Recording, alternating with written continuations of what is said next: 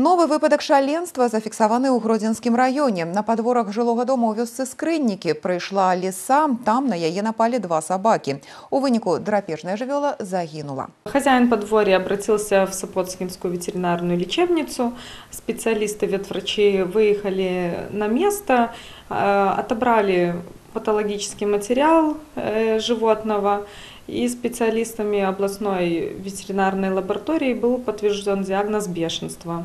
Як след цягам двух месяцаў у ачагу здарэння будуць праводзіцца супрацьэпідэмічныя мерапрыемствы, у тым ліку пазапланавы адлоў бадзяжных і вакцынацыя хатніх жывёл. У першую чаргу тых гадаванцаў, хто меў кантакт з драпежнай лісой.